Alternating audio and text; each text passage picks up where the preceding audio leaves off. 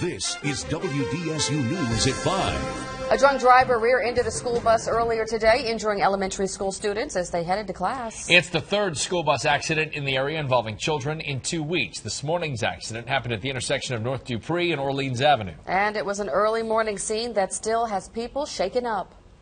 I sounded like a child scream when I heard the hit.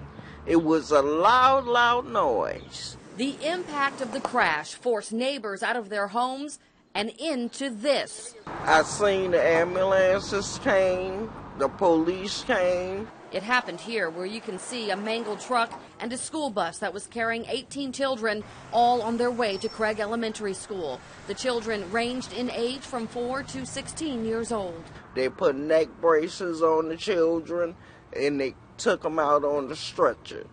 It happened when a drunk driver rear-ended the bus at 7:20 this morning.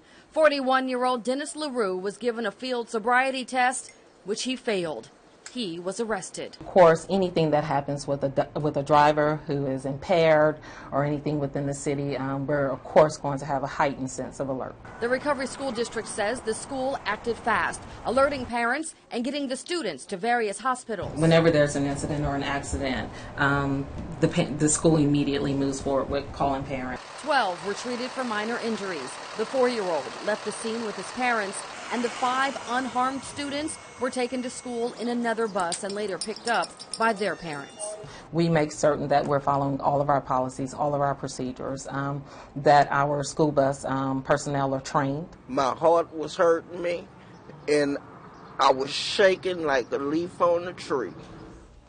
Dennis LaRue was treated and later booked. He's charged with driving while intoxicated, reckless driving, and following a vehicle too closely.